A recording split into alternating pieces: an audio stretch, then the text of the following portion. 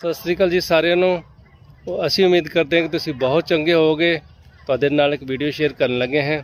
ਮੇਰੇ ਨਾਲ ਧਰਮ ਪਤਨੀ ਜੀ ਹੈਗੇ ਨੇ। ਸਤਿ ਸ਼੍ਰੀ ਅਕਾਲ ਜੀ ਤੁਹਾਨੂੰ ਸਾਰਿਆਂ ਨੂੰ। ਅਸੀਂ ਆਏ ਸੀ ਰਾਮਨਗਰ ਔਰ ਇੱਥੇ ਇੱਕ ਪਾਰਕ ਹੈ। ਉੱਥੋਂ ਦਾ ਵਿਊ ਦਿਖਾ ਰਹੇ ਹਾਂ ਆਪ ਜੀ ਨੂੰ। ਕਿਸ ਤਰ੍ਹਾਂ ਲੱਗ ਰਿਹਾ ਤੁਹਾਨੂੰ? ਕਿੰਨਾ ਸੋਹਣਾ ਪਾਰਕ ਹੈ ਨਾ। ਸ਼ਾਮ ਨੂੰ ਮੌਸਮ ਵਧੀਆ ਹੋ ਜਾਂਦਾ ਨਾ। ਕਿੰਨਾ ਸੋਹਣਾ ਵਿਊ ਹੋਇਆ ਹੈ। ਸਭ ਮौज ਕਰ ਰਹੇ ਨੇ ਆ ਫਾਊਂਟੇਨ ਪਾਰਕ ਹੈਗੇ ਜੀ।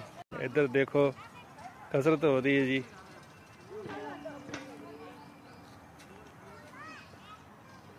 ਬਹੁਤ ਜ਼ੋਰ ਲੱਗ ਰਿਹਾ ਨਾ। ਕਸਰਤਾਂ ਹੋ ਰਹੀਆਂ ਨੇ।